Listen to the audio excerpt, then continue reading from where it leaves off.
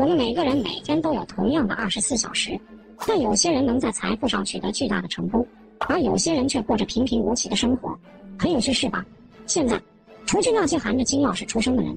和中了彩票的人，我们不得不承认，还有很多白手起家的人，在同样二十四小时的时间里积累了巨额的财富。所以今天我们就来看看富人是如何利用他们的时间，工作的更少却创造更多的财富的。在开始前，还是提醒一下，我会在这个频道和大家分享如何提前十年实现财务自由，更多财商教育和个人成长的内容。我真心的祝福为这部影片点赞的兄弟姐妹们能够早日实现财富自由。我们说到少工作的时候，并不是说他们没有努力工作来积累财富，相反，他们非常努力，尤其是在他们创造现有生活的旅程起点。我们的意思是说，他们如何用比别人更少的时间来达到更大的效果，跟其他百分之九十九的人们相比，他们是怎么利用他们的二十四小时的，是如何随着时间的流逝积累财富的，所以最后他们获得了财务自由。拥有了想不工作就不工作的能力，第一件事，也是在开始你财富之旅时，就会变得越来越重要的事，就是理解绝对收入和相对收入之间的区别。绝对收入只关注赚到的钱的绝对数量，而相对收入关注的是地点、时间、流动性，甚至个人的生活方式。举个例子，假设张三一年赚十万元，李四一年赚八万元。从绝对收入上看，张三比李四更富有，因为绝对收入只关注赚到金钱的数量。让我们再深入了解一下，如果张三每周工作八十个小时，才能挣到十万元，而李四每周工作只需三十个小时，就能赚到八万元了。这意味着张三每小时赚二十六元，而李四每小时赚五十五元。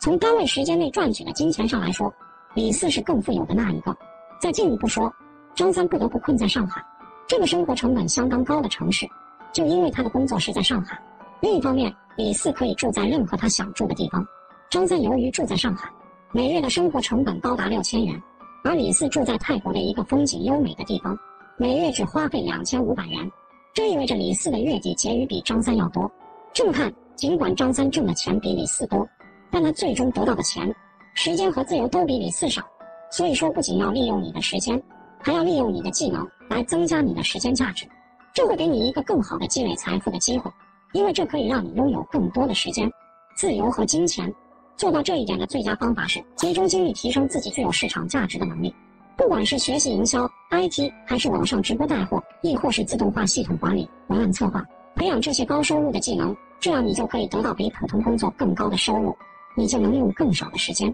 赚到更多的钱。要知道，时间和地点的自由其实是非常重要的。之所以培养高收入的技能如此重要，是因为它可以让你有更多时间上的自由，让你可以专心扩展业务。或者建立别的收入来源。如果你可以摆脱早九晚五的工作，那你就可以有更多的思考和实践的时间。在别人被框在工作日的框架里的同时，你却可以进行更多的探索和发现。这就是先人一步的优势。如果你的工作让你有了地点上的自由选择权，你就可以在花更少钱的基础上，仍然能保持高品质的生活方式。要知道，国际化大城市的市中心和环境优美的小城，在生活成本、生活节奏和生活质量上都相差甚远。如果你做的是地点自由的网络上工作，像是直播主这种，那你就可以选择在风景优美的小城居住，也可以选择全世界去自由的探索，那是多么美好的事。那么，如果可以自由选择的话，你想要学习哪方面的技能呢？是基于兴趣还是市场需求呢？在评论中和我们分享你的考虑因素和思考过程吧。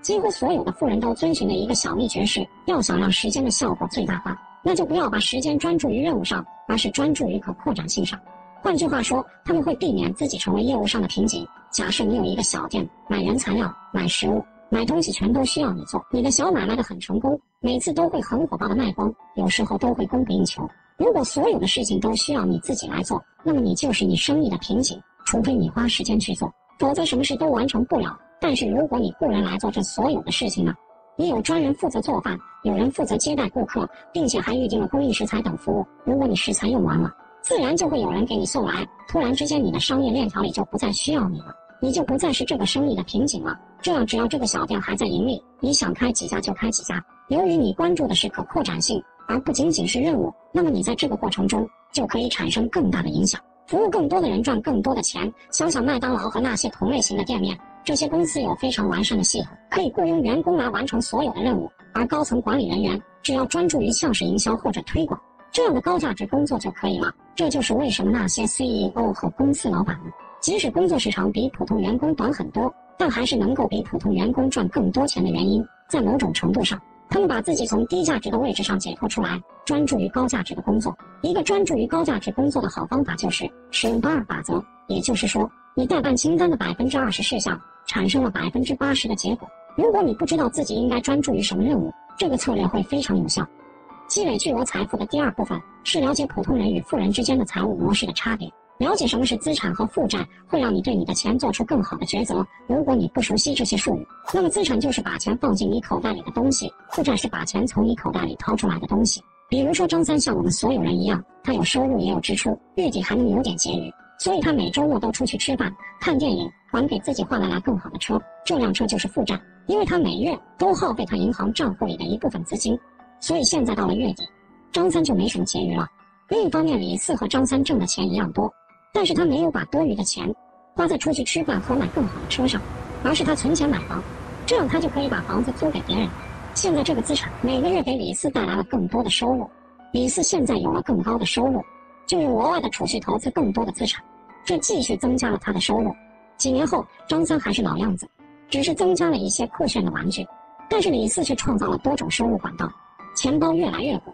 沃伦·巴菲特曾经说过：“如果你对未来没有计划。”那你就是在计划着失败。中国也有一句古话，叫做“人无远虑，必有近忧”。你追求的是长久的财务自由，未来的自由选择权，还是现在及时的享乐？得过且过，每天浑浑噩噩的活呢？你对未来的展望和计划，决定了你在未来是会节节高升，一步步走进人生的快车道，还是会像拉磨的驴子那样，被眼前的舒适遮住了双眼，麻木而机械的走着人生的一个个循环。让你的老板尽早过上梦寐以求的生活，这就是普通人和富人之间的差距。普通人就算有很不错的收入，也不会像富人那样，运用他们的金钱和额外的时间去积累更多资产，从而产生独立的额外现金流。换句话说，这些资产产生了被动收入。正如沃伦·巴菲特曾经说过的：“如果你没有学会在睡觉的时候赚钱，就会一直工作到死。”因此，我们必须要关注相对收入，随着时间的复利，提升金钱的价值。争取用更少的工作时间